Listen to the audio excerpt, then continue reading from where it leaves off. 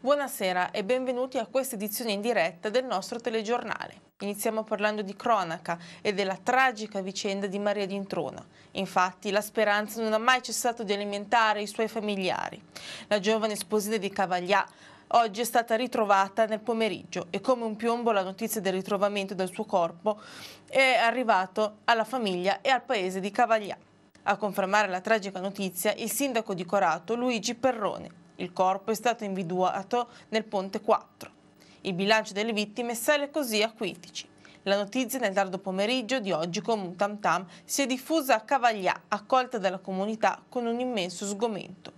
Un epilogo drammatico che si chiude su una vicenda drammatica, commenta il vice sindaco Pierluigi Nicolello. E sarà proprio il paese del Basso Biellese nei prossimi giorni ad accogliere i familiari della giovane donna che riporteranno a casa il feretro della giovane sposa.